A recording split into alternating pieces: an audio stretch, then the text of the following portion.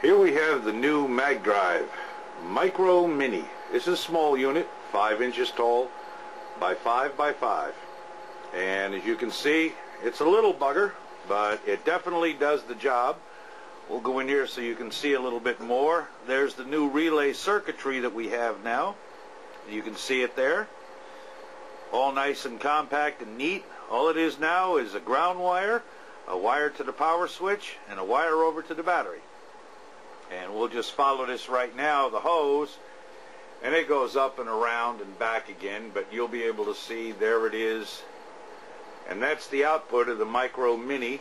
And right now, it's running at about, by the looks of it, it's just about 10 amps is what it's running and 12 volts. And that's what it looks like right there. That's the output. We'll zoom in on it a bit so you can see it a little better. And there you go, right there. Not too bad for a little unit like this.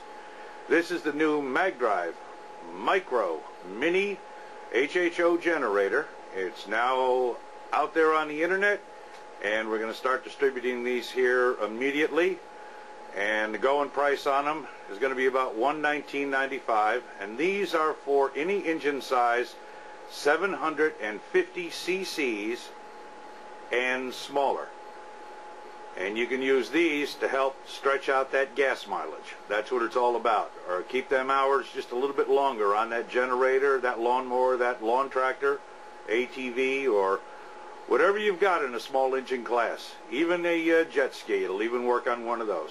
Works on 12 volts, and it runs out about 10 amps. And that's what it is, the Mag Drive Micro Mini. there you go. Thank you much. Have yourself a good day.